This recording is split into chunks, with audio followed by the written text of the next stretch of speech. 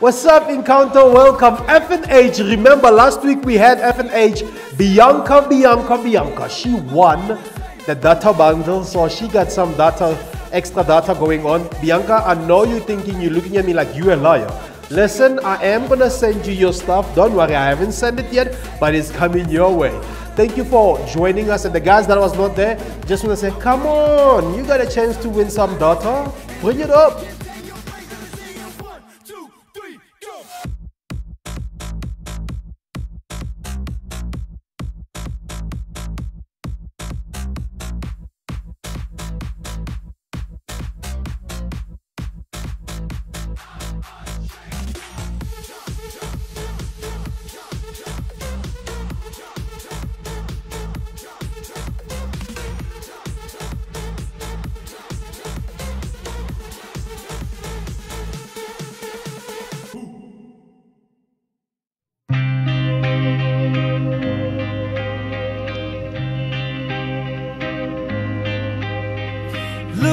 You've done for me. Your blood has set me free. Jesus, my Lord, look what you've done for me. I haven't been the same ever since that day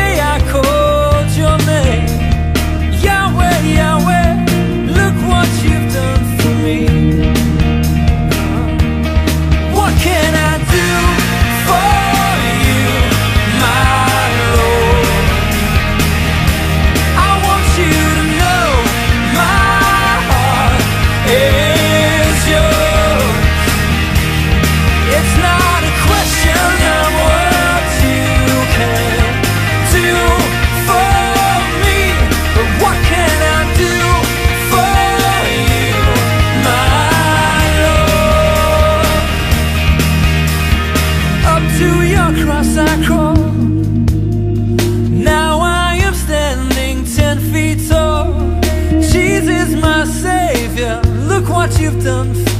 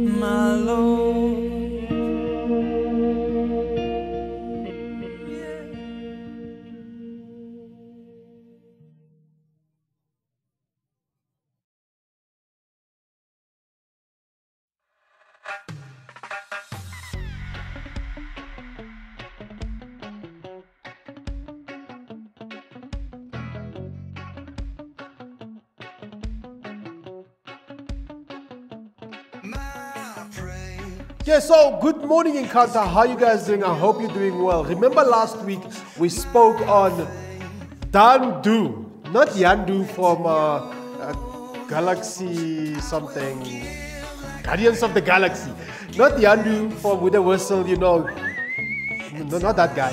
We're talking about what God did and what do you need to do. But this week, I'm just gonna, I'm just gonna give you more information.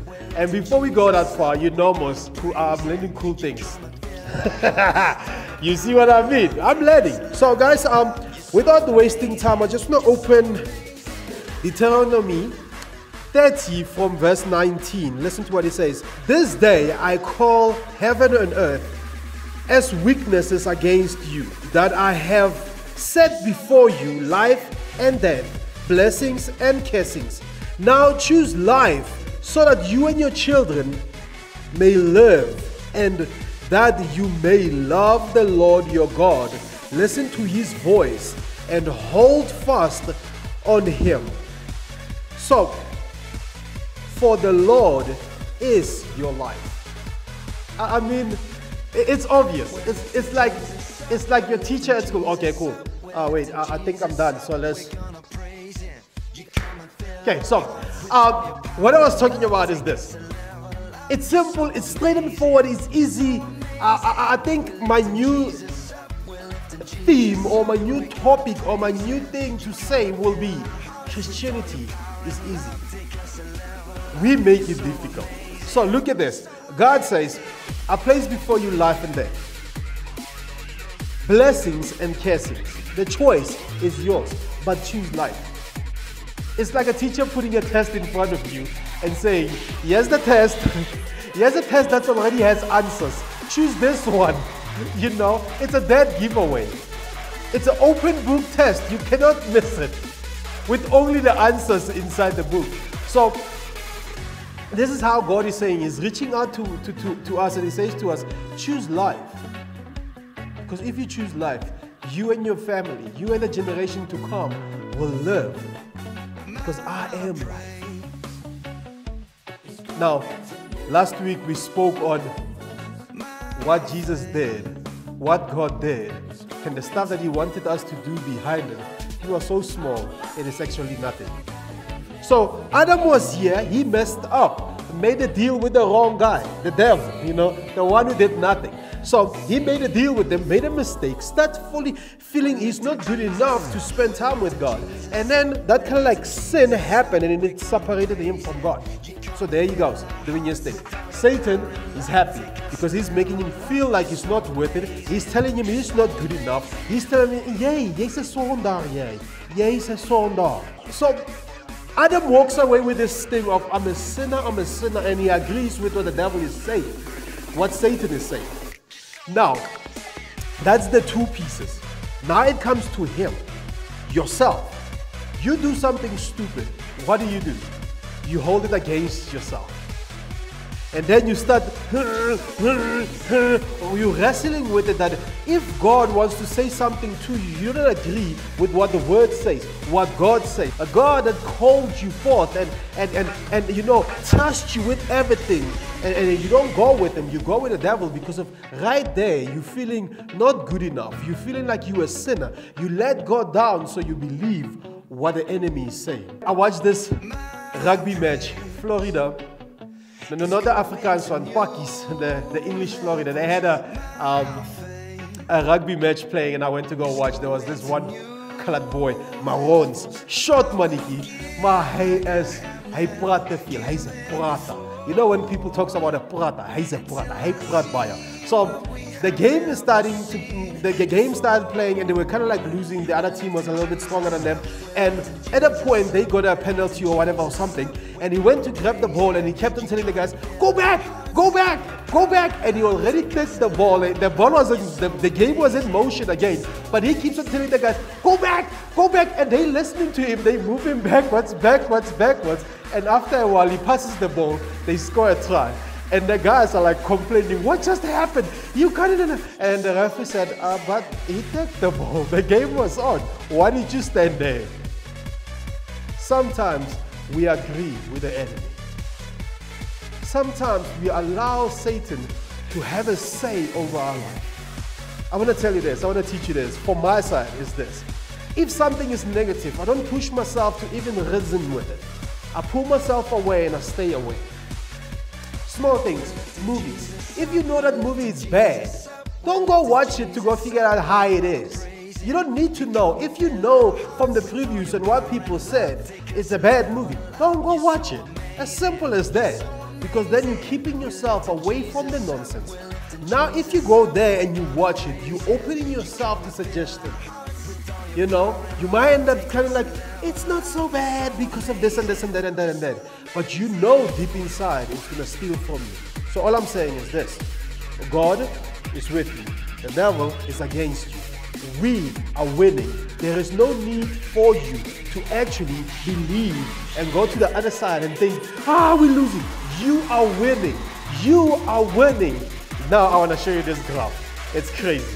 Uh, if you look up here in this corner, this, this graph, it's on us. It's when we try to do things on our own. Like, you know, we're not listening to God, we're doing things for God, but without God. You know that feeling? Yeah, when you acting all halo. A halo is starting to grow on all over your head and stuff.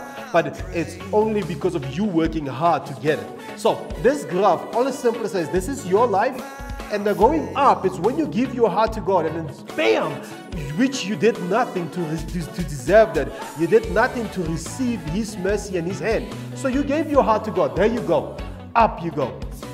Then, after we get there, where you have everything, we start living and you make one mistake and you start telling yourself, I'm not good enough, and you start being in a team, in the losing team, where you are actually in the winning team, but then you start acting like you're a loser and you start doing all of those things and you start going down as the graph shows you. The thing is this if you do it out of work, works, it's not gonna work for you. If you do it out of self, it's not gonna work for you. If you're thinking, yeah, I'm gonna do this, it's not gonna work for you. The only way it's gonna work is if you just obey. Obedience is key. And if you check this next graph over here, obedience is key because if you allow God to move you how He wants to move you, He will save you and you will stay there because you are forgiven, you are chosen, you are righteous, you are who God says you are, and you are covered in the blood of Jesus. And nothing, nothing the enemy says matters because of you are victorious. Before you even got into the game, you were victorious. Reaction is on you. How do you react from what God is saying? When God asks you to do something, do you do it? Do you obey and start doing it? Because if you obey, things will go well. When I say things will go well, I don't mean everything will be nice, you never have issues, you're never gonna have a pain, you're never gonna go through hard time. I'm not saying that, but I'm saying it will go well because of you obeying God, your creator. And it doesn't matter what happens, like the graph, you will just stay there. Now, if you choose not to obey, you start to look at the opposite side. You start looking at the devil because the thing is this: he wants to take your focus away. The minute when you're not focusing on "I am winning," "I am righteous," God has this thing for me. If you're not focusing on that, you're focusing on "I'm not good enough," "I need to do something," "I need to make," then you start looking into self. You start looking into yourself and thinking you can make it happen. You cannot make it happen. God is the only one that can make it happen for you. Remember Jeremiah 29. Geen geen.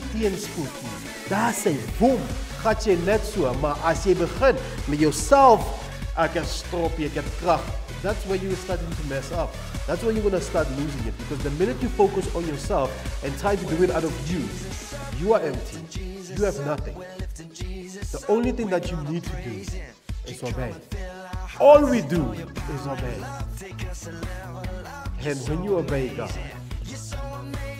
it will show you so much more of who He. Now, you obey. Don't react on what the devil is saying. React on what God is saying. And the right reaction is to obey. Not to argue, not to, it's just to obey.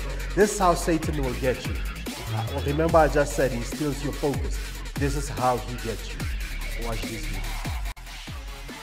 I'm going to flip through this deck, and I want you to see one card, and not this one. That's too obvious. Pay close attention. That was too fast. I'll do it again. Are you ready? Mm-hmm. Okay. Did you see one? Yes. Do you have one in mind? Yes. Now, do you see your card here? No. That's because you're looking too closely. And what have I been telling you all night? The closer you look, the less you see.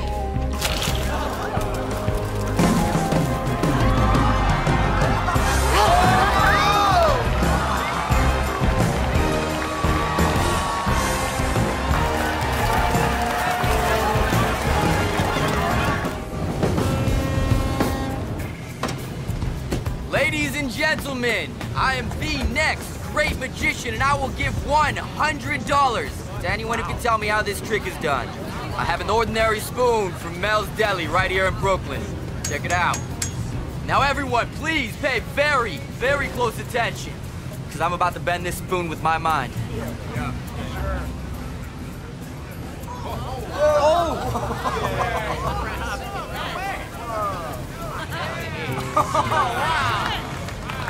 Thank you, thank you. Pass that around. What's this? Well, what are you doing, man? Look at this. Looks like we got a spoon and a stem. I got other tricks. Or you can give me my hundred bucks. You said you would. Nice wallet. You have a very good eye, sir. Thanks. Wallet. My wallet. My watch. The, the last thing is this for me, and I hope you get this. What God has done for me, it has changed my life. And I'm never, never going to be the same. Thank you, Jesus. Let's pray. Father God, I just want to thank you, Lord God, for this, this gift of life that you gave us. But above everything, Lord, I thank you, Lord Jesus, that with you, there is nothing that can hold us back. With you, there is nothing that can stop what you have started. All we have to do is obey. You placed before us life and death, and you make it so easy. I say, choose life, choose me, and I will guide you. You are life, and I choose you. Over and over and over. I'm more than a winner. Ek is as 'n wenner. You are good. And the minute when I obey you, I'm on the right track. Nothing can pull. Nothing can rip me out of your hand. Thank you that you are my God, my Father.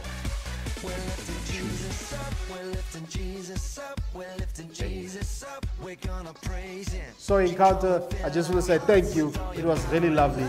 I think the only song that is fitting to end this thing, it's Look What the Lord Has Done. He healed your body. He touched your mind. He saved me just. You know, you know what I'm saying? So you guys must have a great week. Enjoy it. Remember this. Throughout this whole week, throughout your lifetime from now on, throughout your life, remember this. You are a winner, and God is on your side. He will never leave you. He will never leave you. And that is God's guarantee.